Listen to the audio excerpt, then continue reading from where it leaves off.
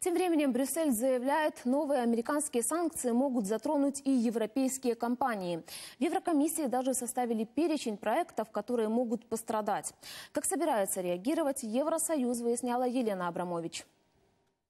Антироссийские санкции Вашингтона становятся антиевропейскими. Брюссель бьет тревогу. От ограничений пострадает 8 проектов, в которых задействованы европейские компании. Ведь штрафы угрожают и предприятиям, которые занимаются не только разработкой новых, но и модернизацией или поддержкой старых проектов, связанных с Россией.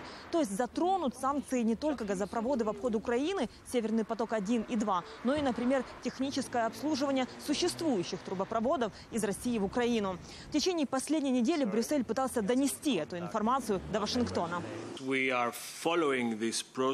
Мы следим за этим процессом с некоторой озабоченностью, касающейся энергетической независимости ЕС и наших интересов в энергетической безопасности. Мы задействовали все дипломатические каналы, чтобы обратиться по поводу этих опасений к нашим коллегам США. Для нас единство G7 в вопросе санкций очень важно, как и уважение к выполнению Минских соглашений.